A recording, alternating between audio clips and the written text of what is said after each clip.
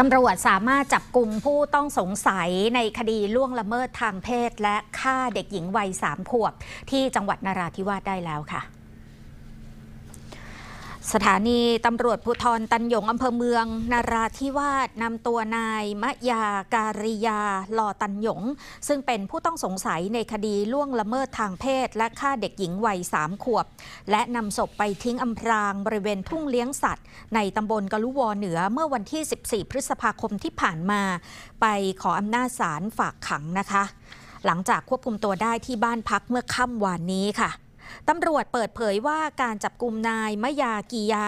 ตำรวจมีหลักฐานครบถ้วน ทั้งหลักฐานทางนิติวิทยาศาสตร์ และได้นำตัวเข้าเครื่องจับเท็จ เมื่อวันที่ 5 มิถุนายนที่ผ่านมา จึงได้ขอสารอนุมัติหมายจับ และควบคุมตัวที่บ้านพักในตำบลกะลุวอเหนือนะคะ ซึ่ง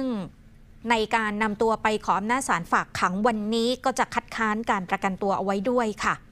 ย้อนกลับไปคดีเกิดขึ้นเมื่อ 14 พฤษภาคมที่ผ่านมา ครอบครัวของเด็กแจ้งความว่าเด็กหายออกไปจากบ้าน ต่อมาพบว่าเสียชีวิตอยู่ในแอ่งน้ำในพื้นที่หมู่ที่ 5 ตำบลกะลุวอเหนือ ซึ่งห่างจากบ้านพักไปประมาณ 500 เมตร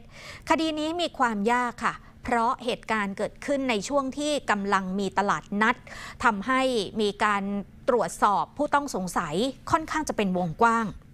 มาสอบสวนสอบปากคำกันมากถึง 35 คนนะคะ และต้องสุ่มตรวจ DNA กลุ่มผู้ต้องสงสัย ที่อาศัยอยู่ในละแวกบ้านพักของเด็กในรัศมี 2 กิโลเมตรกว่า 60 คน